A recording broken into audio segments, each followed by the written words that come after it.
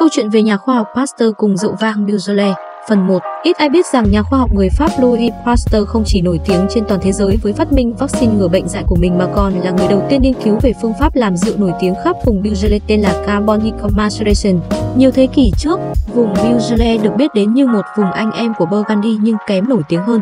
Nhưng về sau vào thế kỷ 19, khi hệ thống đường sắt kết nối Beaujolais với Paris vào, rượu vang Beaujolais đã trở thành sự lựa chọn mang tính thời thượng trong các quán rượu của thành phố Paris lúc bấy giờ. Có được sự nổi tiếng này chính vì rượu vang từ vùng Beaujolais mang đến hương thơm trái cây tươi mát nổi bật đặc trưng và góp phần không nhỏ chính là nhờ kỹ thuật làm rượu Carbonic Maceration mà nhà khoa học Pasteur là người đầu tiên nghiên cứu về. Thật bất ngờ khi biết rằng một nhà khoa học nổi tiếng thế giới thậm chí được lấy tên để đặt cho một con đường sầm uất nhất Sài Gòn lại có liên quan đến loại rượu vang Beaujolais nổi tiếng thế giới phải không nào? Vậy phương pháp này có gì đặc biệt so với các phương pháp sản xuất truyền thống khác? Hãy cùng đón chờ vào phần 2 nhé! Follow và thả tim cho Daily Wine Việt Nam để đón nhận những chia sẻ bổ ích về rượu vang nhé!